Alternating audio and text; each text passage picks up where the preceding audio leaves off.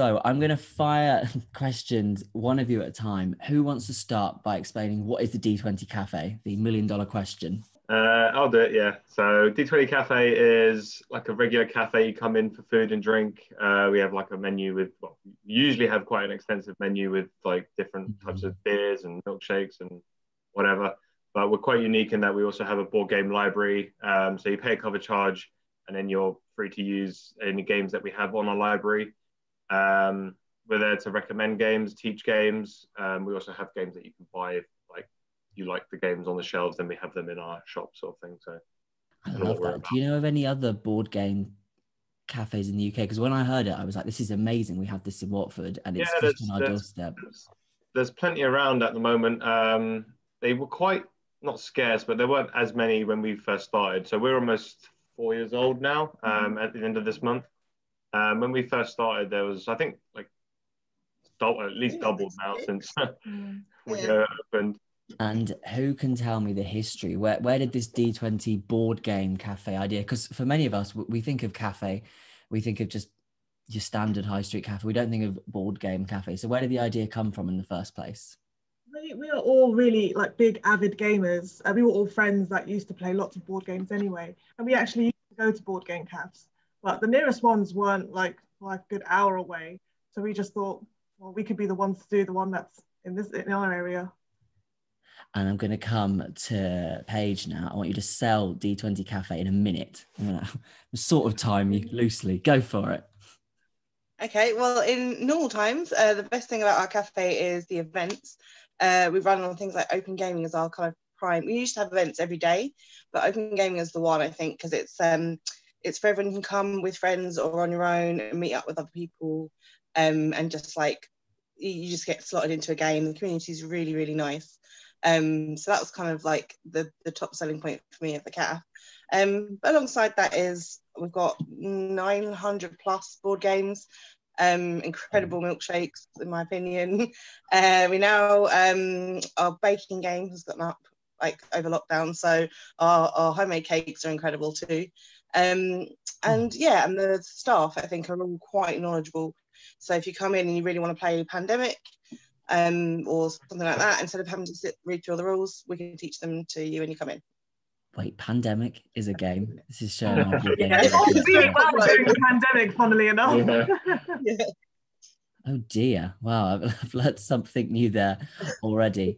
And what events have you been holding? Have you been on Zoom like we are now doing events in the last year? Has it been a bit different in that sense?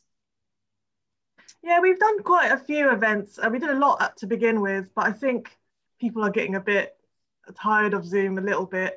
Um, but we do try and you know do events for our communities. We've got lots of like video games. We've kind of delved into video games now as well a little mm-hmm. bit, just to keep our communities together. Something to do. And where do you get your supply of board games from?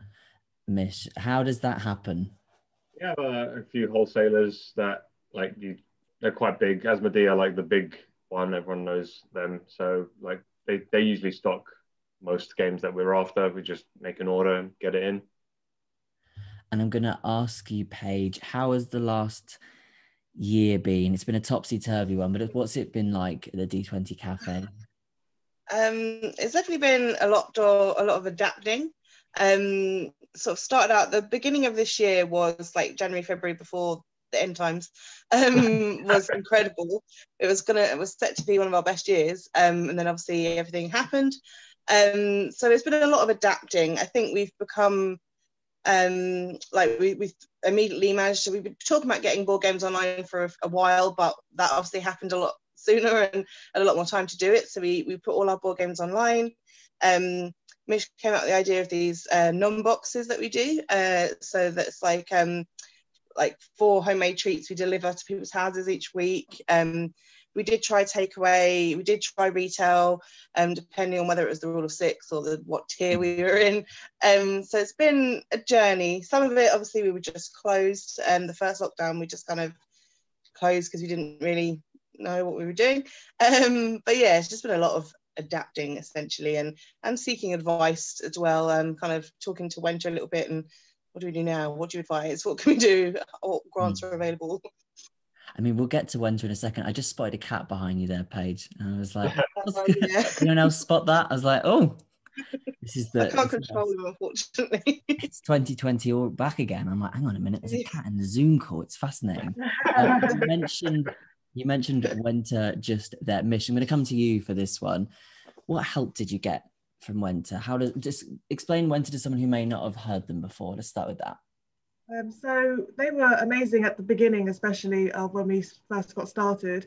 Um, so we wrote a business plan. We weren't, and then we weren't really sure where to go from there. So um, I think it was Paige that found uh, found out about Wenta, um, and we just um, messaged them and we booked in some one-to-one consultations with a business advisor, and that was honestly like really, really helpful for us, just to have the validation from like a professional business advisor who could look over our plan um, spot any like holes that may have been missing um, and tell us where, where to go next.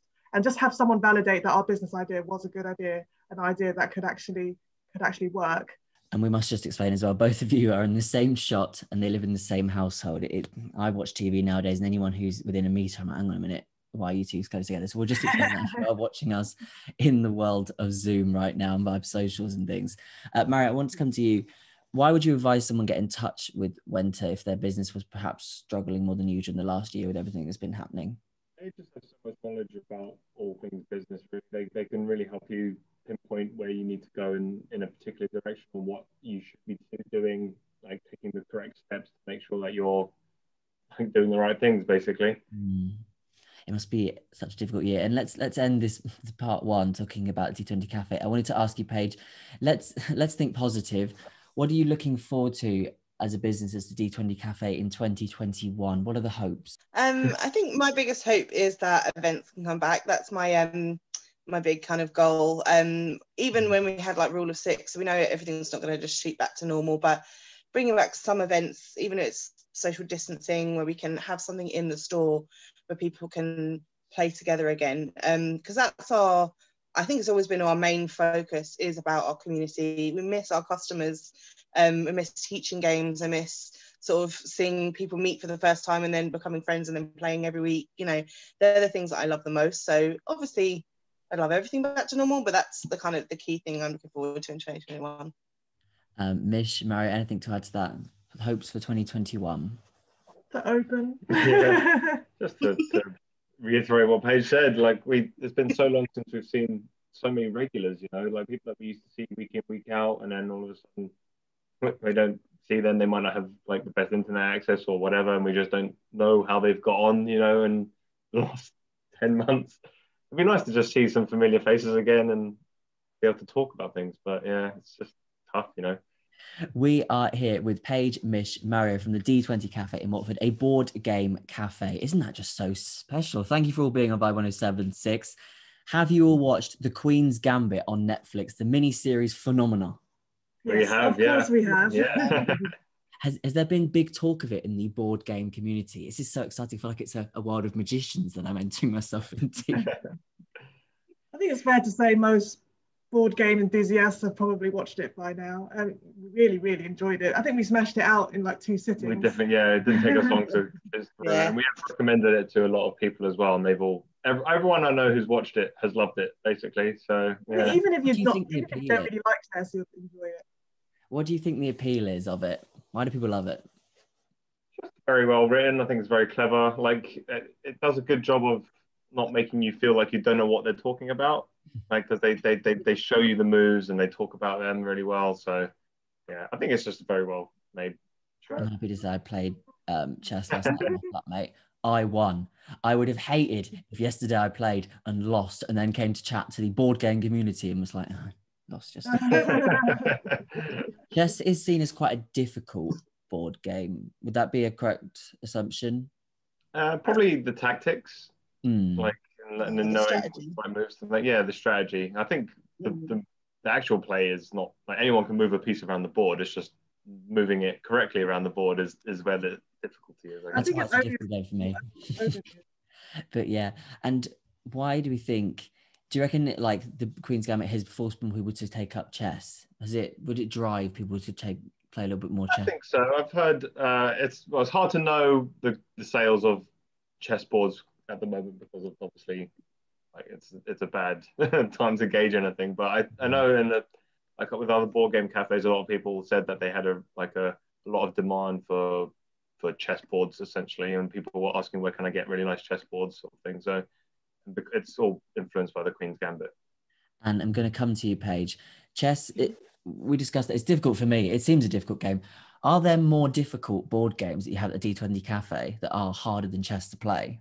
Yeah, because I mean, chess is difficult in the sense of obviously of thinking ahead and planning what the other person's going to do, um, which obviously happens a lot, a lot of the board games. Um, in terms of difficulty, I would say that we, we have some games that I know people have played, they've come all day, they've played for the eight hours, and they've asked us to leave the game out overnight to play the next day because it's just, there's so much to it um, that they need them, you know, to come back. Um, there's a mm. game that we have uh, called Diplomacy, which I know takes like a month to play on and off. Like there, are, there are some really intense games. We have nice games, but we do also have those games, and they're quite intense. What is the easiest game, Mario? If if diplomacy, which is a very difficult thing, as we've seen in the last year, um, to not talk too much about news, that's a very difficult thing. Mario, what's the easiest board game? I would say our easiest game is something like it's called Dobble. Um, it's basically Snap, but each card has eight different symbols on it, and they only match with one symbol per card. So it's a really it's like insane Snap basically, but it's really good fun, and there's a few ways of different playing it. Uh, playing it. So yeah. That does seem a difficult game. And I'm going to ask you, Mish. Lots of people have probably spent their Christmas period, like we are now, on Zoom what board games do you reckon are good to play over Zoom, or what games would you recommend people play? So there's a game uh, by Big Potato called Herd Mentality, which is really easy over Zoom. So the premise is that you there's a question or a prompt, and everyone has to try and write down one answer. But your the idea is that you're trying to match um, every uh, the majority. You're trying to be in the herd. Um, so if you're if you pick an answer that's too out there, then you're gonna gonna not not receive the points. So that's a good one. Decrypto mm-hmm. as well. I, have played with my we've played with my uh, family, and that's a that's a good one over Zoom as well. I invented a game of What's in the Stocking, which I think is a genius Christmas game, which we'll talk about later. and Mario, this is the million dollar question in my eyes. What defines something as a board game as opposed to another type of game? Uh, I mean, it's it's hard to categorize because so many people associate things that don't have a board as a board game. So, for instance, as Michelle just mentioned, Decrypto doesn't necessarily have a board. It's just a bunch of cards um, that you use and whatever. But um, I think anything that you play on a tabletop um, is essentially a board game, and people can use that interpretation however they want. Things like Magic the Gathering could be a board game, even though it doesn't have a board. Um, or anything from pandemic that we mentioned earlier. So yeah, I think anything that you play on a tabletop is can be a board game. I mean, that seems the perfect yeah. answer right there. We've just down to a T. And out of us four here, who's a, a, good winner and who's a sore loser? Let's let's discuss that bit, please. I'm definitely the worst loser. What's he like you I think everyone who knows me doesn't knows I don't like losing. Someone tell me why. Just I'll let someone else do it. He's a very emotional man. I had to check the rule book to make sure that there's definitely not a way you can win. You have Paige all the rule books on hand? Because I imagine sometimes even at Christmas in a normal Christmas, people are like, hang on a minute, this Monopoly isn't being played right, and they draw the rule book out. Does that happen a lot? Well, it is our job to make sure we know the rules so that when we teach it to people, we make sure we teach them the correct rules. So there is a lot of going through rule books just to make sure we didn't miss something or get something slightly wrong so that when we teach it Am I right then in assuming Mario that when someone comes for a job, you quiz them on like everything? like when was Monopoly invented? And if they get it wrong, that's it, they're out. and we spoke just then about sore losers. What's your advice to someone to not be a sore loser and just to see it as playing the game is the important bit? Let's start with you, Paige. I want an answer from all of you though. Uh, I would just say that I hate to be cliche, but it's you're supposed to have fun. Board games are fun. You know, um, I always go in my first uh, board game that I learned with the intention of not winning because I'll try and win. I always try and win. I think you always should try, but I always assume I'm going to lose the first one anyway. So, but then you learn, you get better, and the next time you will win. so yeah, there's always the next game. Uh, just always realize that you can play the game again and try and win again next time. So yeah, just don't let that one time affect your life. Last but not least. Oh, I was just saying, um, completely forgot what I was No, if you if you want to play with them again. Oh yeah, if you want to play with the same group again, then you, you know, you should behave yourself. Last but not least, as we chat about D20 Cafe in Watford and we talk about the help from Wenta and things, can I ask you favorite board game and why? Um, Mario first. Um, I always say Catan, uh, Settlers of Catan. It was the kind of the game that got me into board gaming. Basically, I've been playing it for 15 odd years, and I've, I can always find time to play it. It's not like the best game or like everyone's favorite, but I just it kind of influenced everything for me. So yeah, Catan for me. We'll come to you next Paige. Uh, mine was, and I always say again, is Battlestar Galactica, the board game. Um, it's quite a heavy game. It's quite an intense game. Lots of lying, lots of deceit, lots of betrayal. So I'm into that. Good, good stuff. And again, last but not least, favorite board game and why? Uh, viticulture, I think. It's the strategic game of winemaking. Um, there's a lot of strategy to it. You've got to make sure that you have the correct grapes. You've got to have the correct, yeah, put them in the correct place and grow them at the right time and get the, get your orders in. Um, and it can ramp up really quickly. So before you know it, you're all competing to, to finish the game.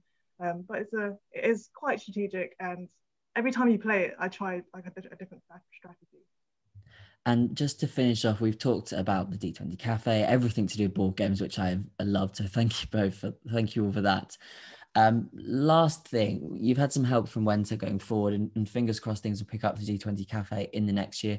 What advice would you have for other businesses in Southwest Hertfordshire near us going forward in the next year? I'm going to start with you, Paige, on this one. Just get a word from all of you. Sure. Um, I do think that I we can't oversell Wenta enough, to be honest. Um, the advice from Wenta, it kind of even if like I had a problem with a bin company recently, and I went to them to get advice on how to, to kind of rectify it. It's like every little, even if they point me somewhere else, um, it's always my go-to. Um, so don't be shy of it. I would definitely always seek the advice, even if it's something silly that you think isn't, you know, or if it's something massive like starting a new business. I would always start there. It's so nice to have that on our doorstep. Mish, coming to you next mm. on that advice for businesses nearby. Um, I would just echo what Paige said. Um, also, contact Wenta. Um, I've often used their live web chat. You can always just ask them a question. So it's good to have that, you know, professional advice back up there to know that you have someone that you can bounce your ideas off. And last but not least on this one, Mario, advice for local businesses. Yeah, I think I mean everything's been said. Mm-hmm. Just Wenta have been useful. Like every little thing that you think if, even if you don't know where to turn next, always contact Wenta because they will have a really good solution or at least some advice that will really help you out. Even if you don't think they might know, it's always good to talk to someone. Even if you have no one else to talk to, they're always there. So it's so nice to have that support for local business. Wenta at wenta.co.uk. And last thing, who can just tell us where we can find everything we need to know about D20 Cafe online? Who wants to take that one? Um, so if you want to find anything about us, we're on all the usual socials. So Facebook, Instagram, and Twitter. Um, at D20CAF Watford on those, or D20 Board Game CAF on Facebook. Um, we also have our website where we, uh, which is www.d20cafe.co.uk, um, where you can find information about our cafe, our online shop, uh, our online custom cakes and stuff like that. Everything's on our website too. I'm sure they will go to your socials and they'll find links to that and stuff, won't they? That, that, that'll be publicized. Mish, Mario, Paige, thank you so much for this.